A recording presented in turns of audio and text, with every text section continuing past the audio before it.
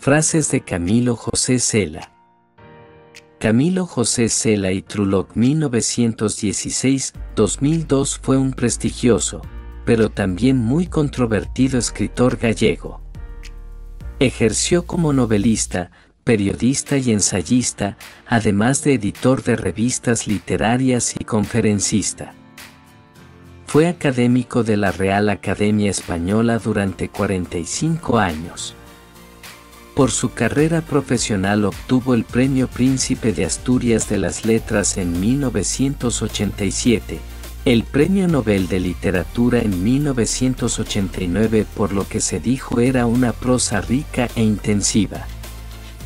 Que con una compasión moderada que constituye una visión desafiante de la vulnerabilidad del hombre y el Premio Cervantes en 1995. Por sus méritos literarios, en 1996 el rey Juan Carlos I le otorgó el marquesado de Iria Flavia, creado ex profeso. En el año 2000, Camilo José se la puso la primera piedra, junto a Felipe Segovia Olmo, de la Universidad Camilo José Cela, de la que es rector honorífico. Citas célebres de Camilo José Cela. 1. Yo creo que no hay tiempo para nada, yo creo que si el tiempo sobra es porque, como es tan poco, no sabemos qué hacer con él. 2. Es mejor y más sano para el alma, se dijo hace ya tiempo, gastarse que enmuecerse. 3. El otoño se ocupaba de matar y el invierno de barrer. 4. La muerte es dulce, pero su antesala es cruel. 5. El que resiste, gana. 6. La vida no es solo el corazón que late, es también el pensamiento flotando sobre el corazón que ha dejado de latir. 7. Para el éxito sobre el talento, para la felicidad, ni basta. 8. ¿Para qué es oro el tiempo más que para verlo pasar acariciándolo? 9. Los mismos cueros tenemos todos los mortales al nacer y sin embargo, cuando vamos creciendo, el destino se complace en variarnos como si fuésemos de cera. 10. Una huelga de intelectuales, que es un supuesto improbable, paralizaría la marcha del mundo. 11. Lo malo de los que se creen en posesión de la verdad es que cuando tienen que demostrarlo no aciertan ni una. 12. A siete años de un suceso, el suceso ya es otro. 13. La inspiración es trabajar una buena porción de horas. 14. Para escribir solo hay que tener algo que decir. 15. En los triunfos anida siempre el cauteloso germen de la derrota.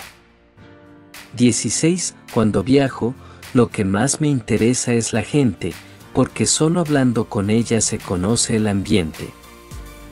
17. La historia nos enseña dos cosas, que jamás los poderosos coincidieron con los mejores, y que jamás la política fue tejida por los políticos.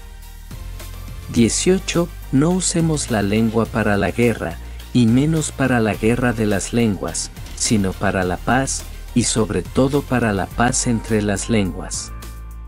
De la defensa de la lengua, de todas las lenguas, sale su fortaleza, y en su cultivo literario y siempre progresivo se fundamenta su auge y su elástica y elegante vigencia. 19. En ocasiones pienso que el premio de quienes escribimos duerme, tímido y virginal, en el confuso corazón del lector más lejano. 20. No es lo mismo estar dormido que estar durmiendo, como no es lo mismo estar jodido que estar jodiendo. 21. Si el escritor no se siente capaz de dejarse morir de hambre, debe cambiar de oficio. La verdad del escritor no coincide con la verdad de quienes reparten el oro.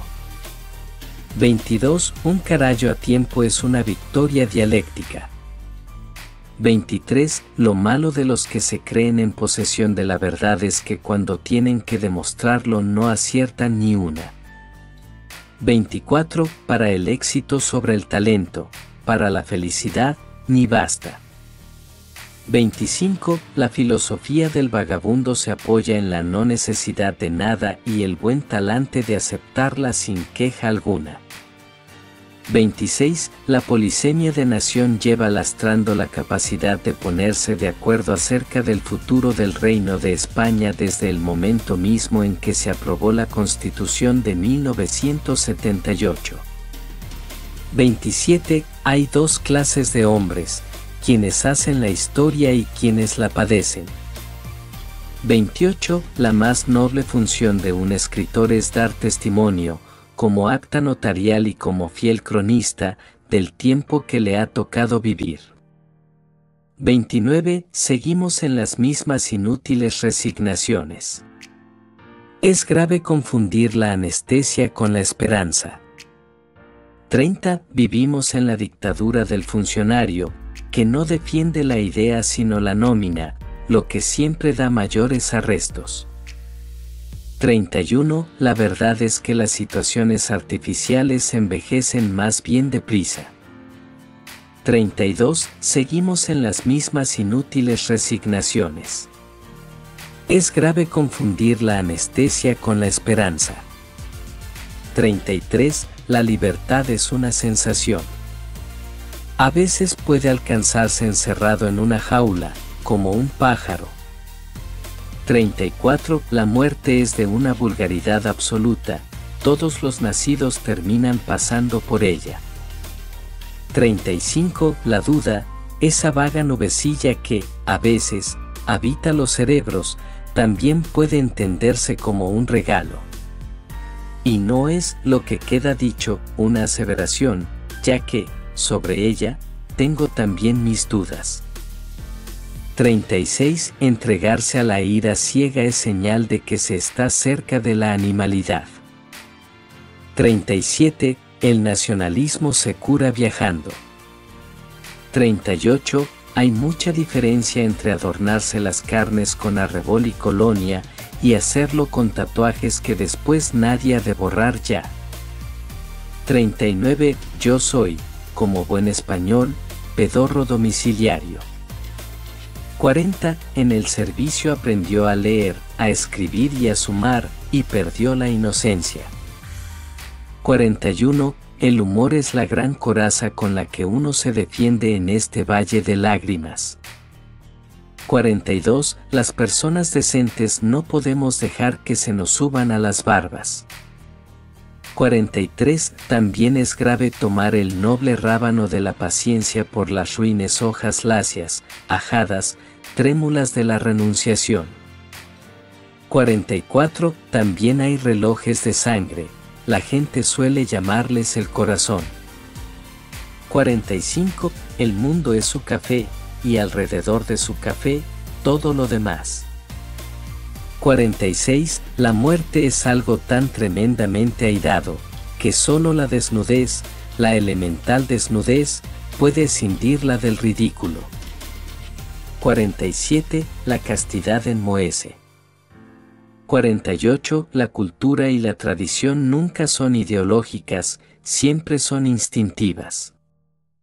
49. La lengua es la más eficaz de todas las armas, ya quedó dicho, y la más rentable de todas las inversiones. Nunca es tarde para que empecemos a poner nuestros ahorros al servicio de los futuros beneficios que serán de todos y que servirán para todos. 50. Ropa a ropa, desnudados de un golpe y sin consuelo, los seis huracanados de alta pena se rindieron a lechos aún no usados.